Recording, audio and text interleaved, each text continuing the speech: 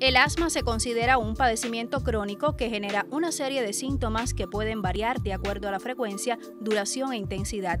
Generalmente las personas que sufren esa enfermedad son más vulnerables a factores externos como el clima, el polvo, el humo y sustancias químicas, los que pueden desencadenar un brote de asma. En aras de involucrar a los pacientes y familiares para reducir su impacto, desde 1998 se instituyó el Día Mundial del Asma. En Cienfuegos, desde los servicios de rehabilitación, se garantiza la asistencia a quienes tienen la enfermedad. En nuestra provincia existe un programa de atención, manejo y prevención del asma bronquial como problema de salud de, los cienfuegueros.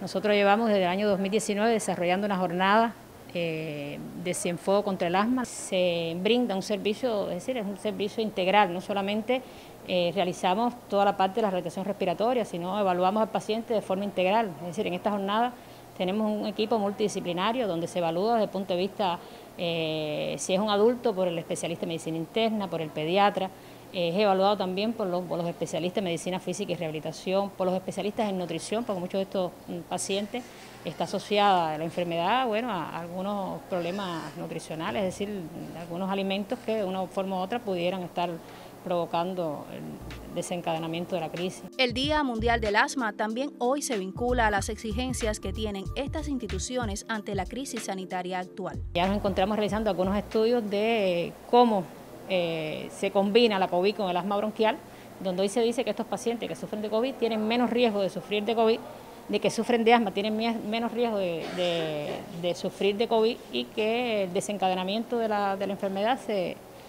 comporta de forma similar a, un paciente que, que no la sufre. La iniciativa global para el asma incluye a expertos en el tema para mejorar la disponibilidad y el acceso a una terapia eficaz contra la enfermedad. Incrementar la conciencia sobre el padecimiento y sus consecuencias para la salud pública es otro de los desafíos que se asume por esta red de profesionales en el Orbe. Roxana Martínez y Mayelín del Sol, Notisur.